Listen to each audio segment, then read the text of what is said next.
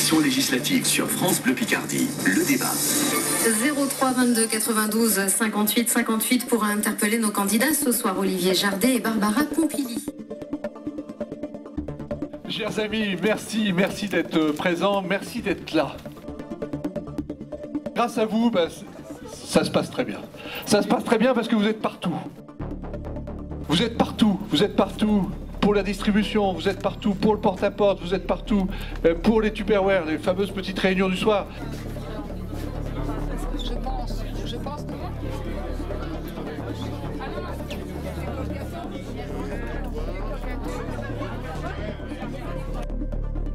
C'est vraiment très dopant et euh, je sais que je tiendrai grâce à vous. Avec 9 points de plus, c'est sûr. C'est sûr que nos valeurs vont être défendues et vont passer et que je serai élu. Je refuse la hausse des impôts et je dirais même la hausse de la taxe d'habitation amiénoise. Ne pas protéger notre jeunesse contre les drogues, entre euh, guillemets, dites tous, est tout à fait inacceptable. La chose pour laquelle je voudrais me battre, et là je l'ai de dire sur France Bleu, le rôle du député n'est pas qu'un rôle législatif, il est un rôle de défense d'un territoire. Nous devons développer un pôle logistique. Et pour ça, il nous faut le TGV. Barbara Pompili s'en moque. Il nous faut le canal Seine-Nord. C'est une obligation. Les Verts sont contre.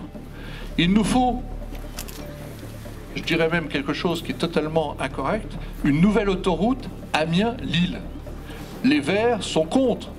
Nous avons un pôle logistique potentiel important. Les Verts sont toujours contre.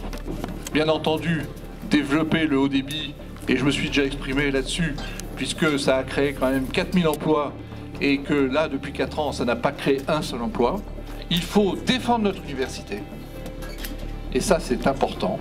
Défendre notre seule grande école d'ingénieurs. On n'en a qu'une.